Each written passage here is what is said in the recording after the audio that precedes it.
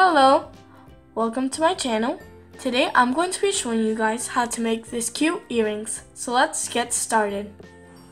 To make this earring, the materials you'll be needing are 4 5 millimeter jump rings. Here I have three different sizes. This one is 33 millimeter, 26 millimeter, and 19 millimeter. And these are just rings. There are different types.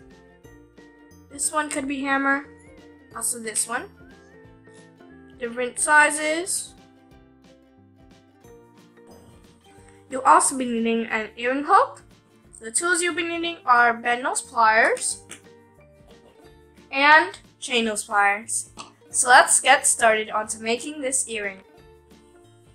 The first thing that we're going to be doing is opening all of our jump rings that we have here.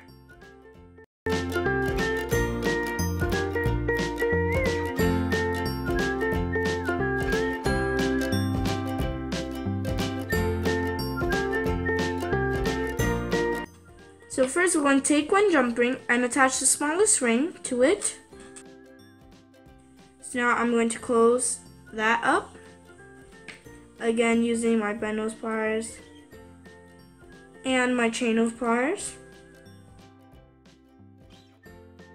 Now we're going to take our second jump ring. So we're going to start from the inside out. And we're going to put it with the um, ring. Then we're just going to take the first jump ring right here attached to that ring, the smallest ring, and just attach it. Um, again, using my bend nose pliers and my chain nose pliers. Going to close it.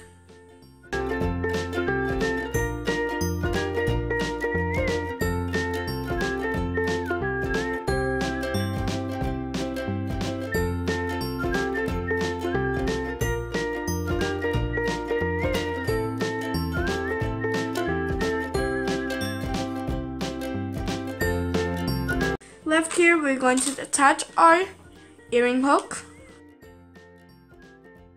Then we're just going to attach our third jump ring that has the ring on it. So the earring hook could be attached to all the three rings.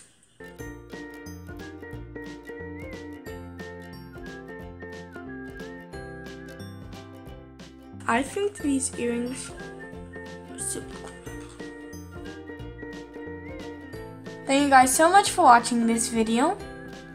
If you enjoyed this video, please hit that like button and subscribe for more videos like this. Bye!